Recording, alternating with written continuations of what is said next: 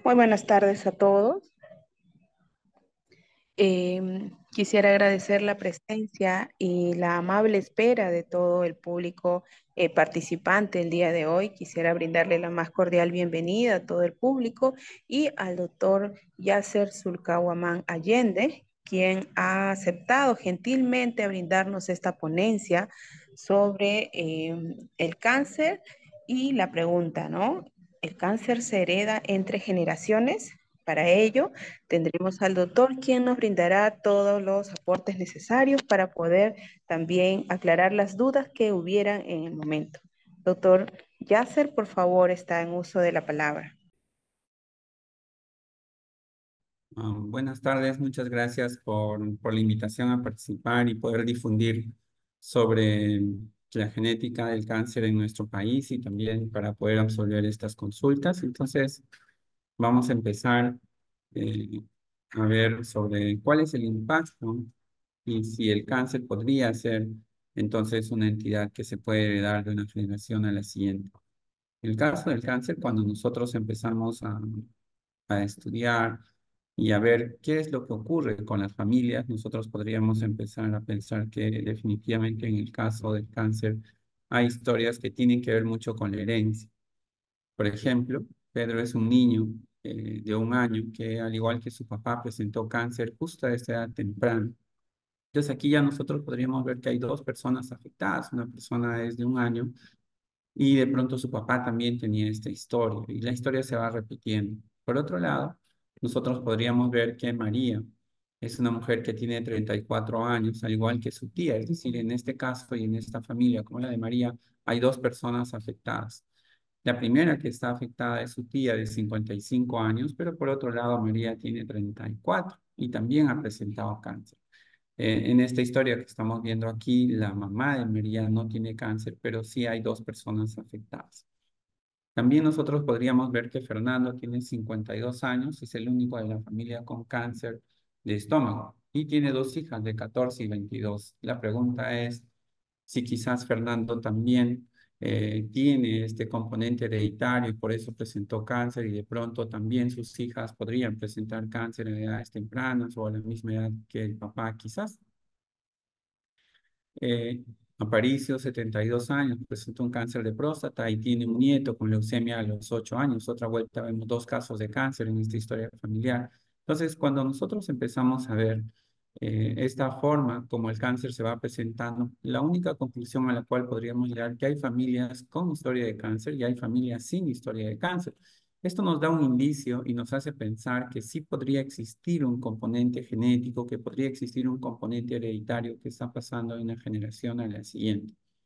¿Cómo tener certeza de si en nuestra familia ese componente existe o no? Lo que sabemos también hasta ahora es que las familias son parecidas, es decir, todos somos muy, muy parecidos en nuestra familia, pero también nosotros somos diferentes, es decir, no todos los miembros de la familia son iguales y por lo tanto eh, en ese parecido significa que hay herencia, es decir, que hay ciertos factores, ciertos riesgos que hacen que nos parezcamos unos a otros. Y esos factores se conocen como genes. Los genes son capaces de transmitir información de una generación a la siguiente. Y también aquí hay un concepto clave. Cuando se transmite una información de una generación a la siguiente, eh, significa que nuestra descendencia va a heredar esos genes con esa información. Otro aspecto aquí es que no todos somos iguales en la familia y eso es porque solo se hereda la mitad de la información genética. Es decir, mi papá me pasa la mitad de los genes y la mamá pasa la otra mitad de los genes. Entonces aquí nosotros podríamos ver si, por ejemplo, para una niña, nosotros decimos, esta niña ha tomado los genes del lado de, de mamá, la mitad de los genes son del lado de mamá. Y por otro lado, el papá ha contribuido con la otra mitad de los genes, de tal manera que ella va a tener el 100% de sus genes. Esta combinación que se va a producir en esta persona dará origen para que cuando esta niña sea mamá, pase la mitad de sus genes o la otra mitad a su otro hijo. Entonces nosotros podemos dar clara cuenta aquí de que hay una relación muy estrecha entre los genes que heredamos y las características clínicas que nosotros tenemos. Por esta razón, Cuando heredamos nuestros genes, nosotros vemos que el color de piel es muy parecido entre padres e hijos. No es exactamente igual, pero nos parecemos. También podemos ver características como el peso, como la talla, como la presión alta, el corazón, la inteligencia, incluso el cáncer. Pero aquí hay otro factor que uno tiene que tomar en cuenta, que el peso no solamente tiene que ver con los genes, también tiene que ver con la alimentación, la talla también tiene que ver con la alimentación y los genes, la presión alta también. Entonces, podemos deducir hasta aquí de que hay factores genéticos hereditarios que sí tienen que ver con el cáncer, y sin embargo, también nosotros podríamos ver que en todos estos factores hay unos que son más importantes que otros, es decir, podrían tener un mayor peso, una mayor relevancia. Y de lo que trata eh, cuando se hacen estos estudios en la familia es identificar cuáles serían esos genes. Por ejemplo, aquí nosotros podemos ver en este videograma la historia de dos personas que tienen dos hijos y que a su vez este gen es el que está aumentando el riesgo de cáncer y uno de los hijos ha heredado y el otro hijo no ha heredado ese gen con esa variante. Y entonces podríamos decir que esta persona sí tiene un riesgo elevado de cáncer, ese riesgo puede ser 60-80%, frente a una persona que no hereda la variante genética y su riesgo podría ser del 1 al 5%. Entonces, estos genes hoy en día son posibles de ser identificados. Es decir, nosotros en el hospital, en el instituto, podríamos identificar los genes pero también hay características clínicas que nos hacen sospechar de que hay una condición genética que está pasando de una generación a la siguiente. Por ejemplo, aquí si nosotros vemos que esta persona tiene múltiples manchas, como estamos apreciando café con leche, podríamos saber que probablemente se trata de una condición genética que se llama neurofibromatosis y existe el riesgo con el paso del tiempo de que terminen en lo que nosotros llamamos neurofibromatosis tipo 1, con la presencia de tumores. Es decir, un test genético nos permitiría predecir lo que va a pasar en los próximos 10, 20, 40 o 50 años. Por otro lado, también estas manchas café con leche podría ser que nunca lleguen a desarrollar tumores si es que se trata de un gen llamado Legius, es decir, hay un síndrome que se llama Legius que también va con manchas café con leche, pero no es el causante de los tumores. Entonces, hasta este punto podríamos ver que sí hay manifestaciones clínicas que podemos detectar de nacimiento, y por otro lado, hay manifestaciones que necesariamente se tienen que detectar con un test genético. Hasta aquí lo que sabemos es el cáncer, una enfermedad genética, la respuesta es sí, pero de estas enfermedades genéticas hay dos formas. Unas que son no hereditarias, es decir, no se hereda, y por otro lado habría otro grupo que se considera que son hereditarias. Entonces, que sí hay una posibilidad de que nuestra descendencia esté afectada. Cuando decimos que sí es hereditario, habitualmente estamos hablando de un 10 a 30% de la población de personas que están afectadas. Pero cuando no es hereditario, es lo más común. Es decir, cuando una persona tiene cáncer, lo más probable es que no sea hereditario. Cerca del 70 a 90% de los casos no son hereditarios. ¿Cuándo sospechamos que podría ser hereditario? Cuando hay historia familiar, es decir, cuando ya hay dos casos o tres casos. Entonces, esta enfermedad genética puede ser clasificada en dos grupos. La familia afectada, cuando decimos que hay cáncer hereditario, y la familia no afectada, cuando se trata de un cáncer esporádico. Cuando decimos que la familia está afectada, cuando por lo menos existen dos personas afectadas con el mismo tipo de cáncer y por lo tanto ya nosotros estamos diciendo que se trataría muy probablemente de un cáncer hereditario. Y por otro lado, decimos que no es hereditario cuando solamente una persona con cáncer se presenta en la familia.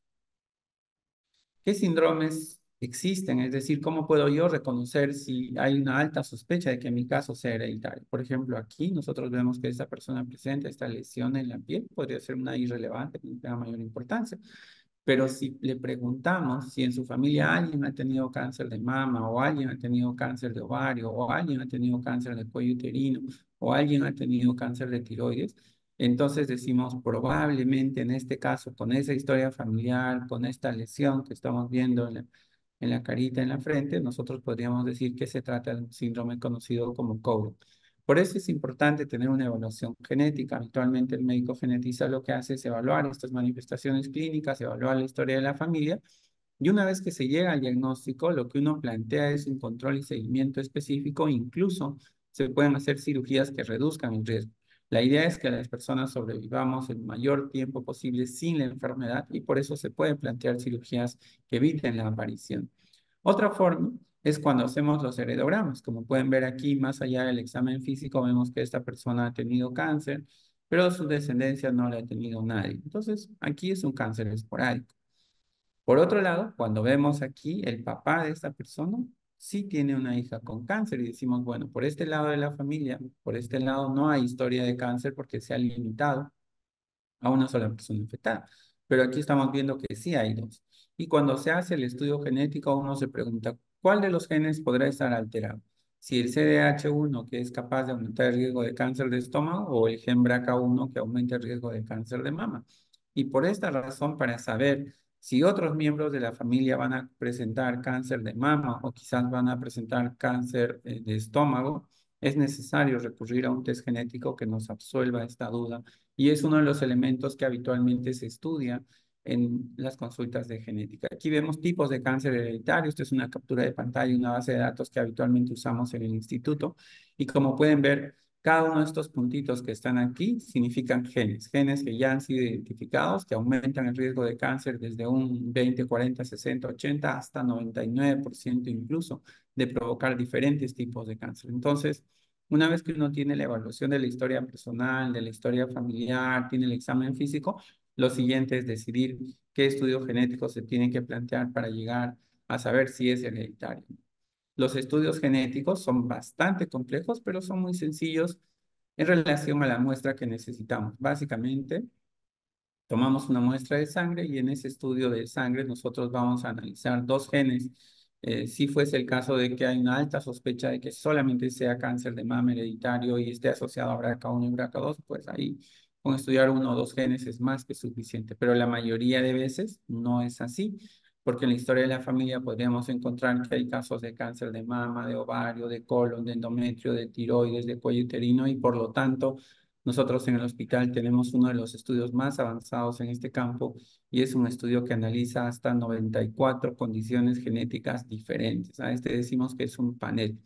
Entonces, si en la familia vemos que hay diferentes tipos de cáncer, lo mejor es hacer un estudio de panel porque este nos va a ayudar definitivamente a llegar al diagnóstico con un solo estudio.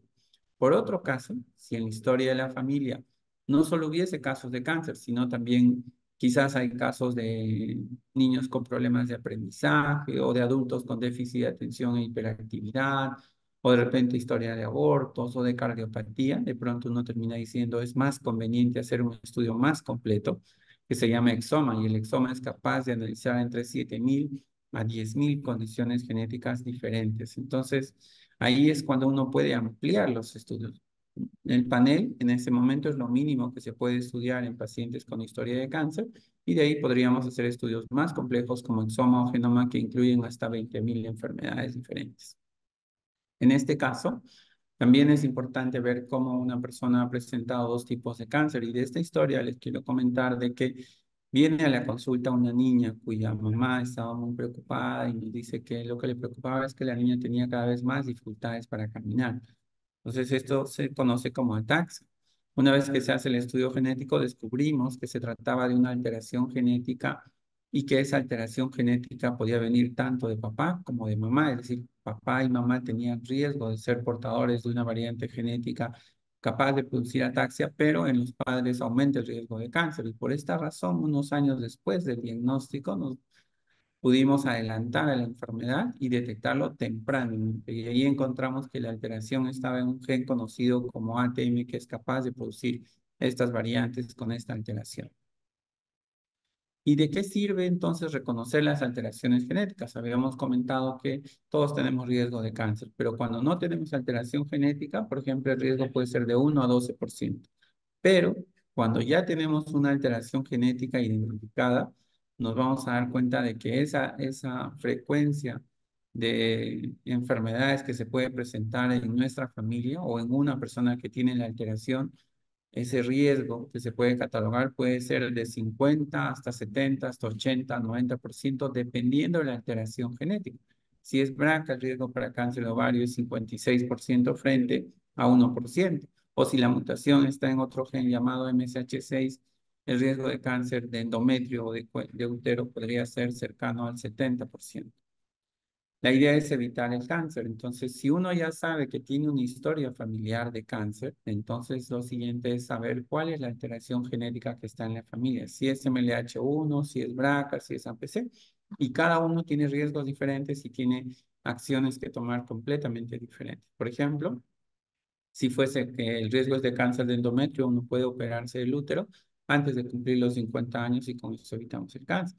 Si fuese una mutación de BRCA1, hay que hacer controles. Es una de las opciones más eh, recomendadas, es vigilar las mamas con resonancia, porque ya hay una alteración genética y mi riesgo puede ser del 84%. También puedo tomar la decisión de retirarme las mamas. Pero hay otras decisiones como asociadas al gen APC y en este caso, como uno puede ver, la presencia de una mutación predice que voy a hacer cáncer antes de cumplir los 45 años con un nivel de certeza del 99%. Y en este caso, lo que habría que hacer es retirar el colon, porque ya sabemos que esta persona va a hacer un cáncer de colon y la es evitar llegar al cáncer. Hasta aquí entonces nosotros podríamos ver que en las familias existen formas de herencia. Unas formas de herencia, las clásicas, son estas que llamamos dominantes, es decir, hay varias generaciones afectadas con cáncer.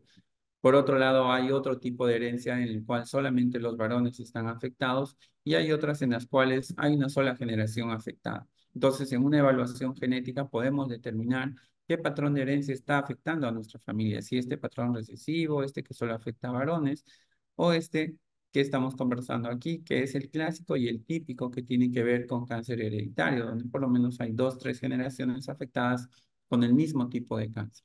Más del 95% de las personas que tienen formas hereditarias de cáncer tiene este patrón, este que estamos viendo aquí como autosómico dominante existen guías entonces en todo el mundo que una vez que nosotros ya identificamos un patrón de herencia como estamos viendo aquí, el siguiente paso es confirmar la sospecha porque habíamos dicho que en la familia todos somos parecidos pero no iguales. Podría ser que mi papá tiene cáncer, mi abuelito ha tenido cáncer, pero de pronto yo no he heredado este gen que predispone al cáncer y no hay necesidad de hacer controles específicos como si los hubiese heredado. Entonces ahí es importante que nosotros revisemos estas guías clínicas. Estas guías clínicas dicen que se puede hacer los estudios cuando la sospecha es superior al 30%, es decir, ya vemos que esta familia podría ser que tenga la alteración, así que mejor le hago el estudio genético. Pero por otro lado, hay otros centros que también dicen no, frente a un solo caso de cáncer, como es el caso de cáncer de mama, mejor hacer el estudio genético siempre y cuando la persona haya tenido cáncer antes de los 65 años. Entonces, para nuestras primeras preguntas, ya para responder a lo que habíamos estado conversando, entonces decimos, ¿qué ha pasado con este niño que tuvo cáncer de niño, al igual que su papá? Y entonces aquí lo que vemos es que en este caso la familia tenía una alteración genética del gen RB y por eso es que ha presentado cáncer y la idea es intervenir tempranamente para que no pierdan la visión, ya sabiendo que tiene la alteración. Por otro lado, la otra hermanita que tiene no tiene una alteración genética y por lo tanto no tiene este riesgo de presentar cáncer de retina o cáncer de los ojitos. Entonces, en la familia puede ser que se herede, como es este caso, y hay que vigilar y evitar que la persona presente cáncer o detectarlo tempranamente. Pero por otro lado, hay quien no tiene la alteración genética y por lo tanto su riesgo es menos del 1 o 5%. Y de eso nos sirve hacer un estudio genético para saber a quién vamos a controlar y aquí no vamos a controlar dentro de la familia. En el caso de Fernando, cuando vemos que es un único hijo con una historia de cáncer de estómago, tiene dos hijas, entonces al hacer un test genético nos dimos cuenta que en este caso no había una alteración genética. Y como no hay ninguna alteración genética, pues nosotros llegamos a la conclusión de que su caso no es hereditario, no va a afectar a su descendencia, su riesgo sigue siendo entre el 1 al 5%, que es la población en general. En el caso de Aparicio aún no tenemos los estudios y aquí nosotros podríamos decir, ¿no? El cáncer a los 72 años generalmente es esporádico, no tiene que ver con la herencia. Y la leucemia generalmente es un cáncer de aparición esporádica que solamente afecta a la sangre y no hay una relación entre leucemia y próstata. Entonces, clínicamente para nosotros, esta es una forma de cáncer esporádico. A pesar de presentar dos casos en la familia, uno a edad temprana, como es 8 años, y otro a los 72, clínicamente con un nivel de certeza superior al 95%, podríamos decir que no tiene nada que ver con la herencia. María de 34, cuando revisamos su historia, nos damos cuenta de que en este caso, aquí está la tía y aquí está María. Entonces vemos que sí, efectivamente la tía tiene la alteración genética, María también tiene la alteración genética, y vemos que la mamá también tiene la alteración genética, todavía no ha hecho cáncer y por lo tanto nuestra mayor preocupación en este momento es evaluar a la mamá para detectar el cáncer en el estadio inicial o evitar que ella presente cáncer. También la hermana de María ha heredado la alteración genética y de aquí, entonces los controles que hay que hacer es con resonancia y con ecografía de los ovarios porque el riesgo es muy, muy elevado. Finalmente, para resumir esta presentación, para llegar a una conclusión definitiva, debemos decir que hay familias con y sin historia de cáncer. Cuando hay historia de cáncer en la familia, hay una probabilidad de que tengamos una alteración genética que aumenta nuestro riesgo y ese riesgo puede ser del 10 a 30% de los casos. Por lo tanto, amerita hacer estudios genéticos para tener todo más claro. Pues bien, es todo lo que quería comunicarles este día. Quedo muy atento a vuestras preguntas. Muchas gracias por su atención.